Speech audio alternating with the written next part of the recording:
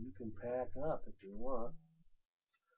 All right, so and this with Chris's video again, and this we just had enough time for a quick little riff, and this is a kind of an easy one. So, uh, what we did is we talked about this lick is in the third blues box, which um, is also where you did your country band.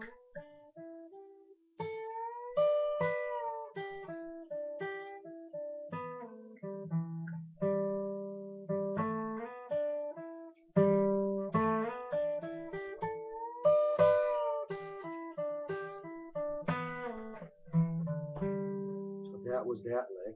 Now what we're going to do is right where we bent this lick, your index finger right now, backing up your third finger, is in that third blues box. So this is for the key of G.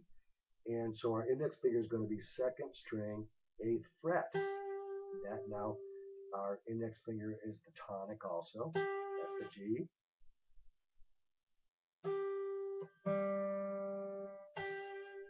So this lick is as simple as this. Take our second finger, we're backing it down maybe two frets out of this third blues box down here to the seventh fret, third string, and we're going to slide it up, back up to the third blues box like this, two frets. And then we're going to hit the second string twice. And then we're going to hit the third string once. Then we're going to hit the second string once. And then we're going to get back to this bend. We don't have to keep our pinky down because we're not necessarily going to use that high note this time. We're just going to go, and we don't have to even put it up a whole step or anything. We just want to kind of choke it. It has to be just sound like it was bent. And it sounds like this. I'll play it fast first.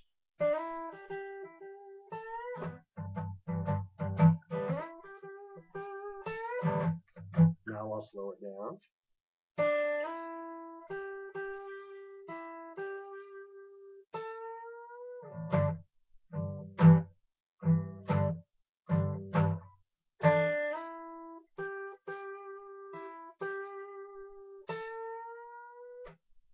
All right, that'll be good.